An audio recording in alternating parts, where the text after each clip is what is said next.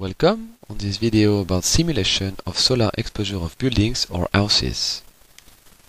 We will, through this video, analyze the impact of sun hours on the different faces of a cubic house located in Paris in France.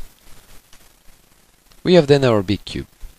We divide the faces in little squares and we calculate by simulation the number of hours on these squares along the year. Important to know, the software we have used for simulation doesn't take any weather forecast in account, so there's no clouds, and it means that in Paris it's blue sky and fantastic weather along the year. So in one year, the simulation gives the result of 4,401 hours of solar exposure on the buildings. And we see here that with, with the grading of colors that 80% of that goes to the roof, and 50% for example of that is going to the face that we see here.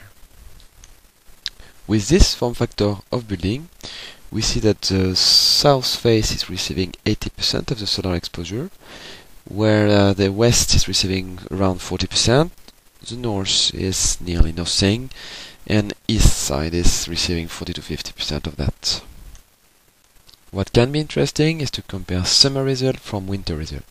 And we will here focus on January to March with an accumulated number of hours of 909 on these three months. We easily see that in this period it's mainly the south face that is receiving the solar exposure.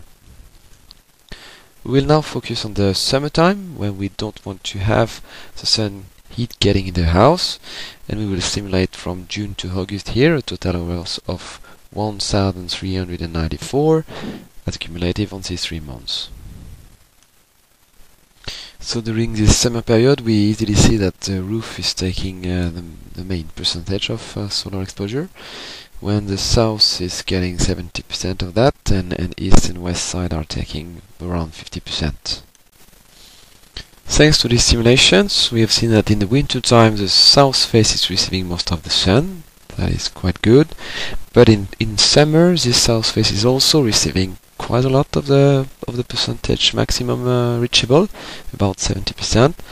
So now the idea is how to, to, to have the good form factor of the house to receive this sun in winter and to reject it in summer. Don't hesitate then to take a look at the part 2 with the second video and take a look at the channel nrlog. Bye bye.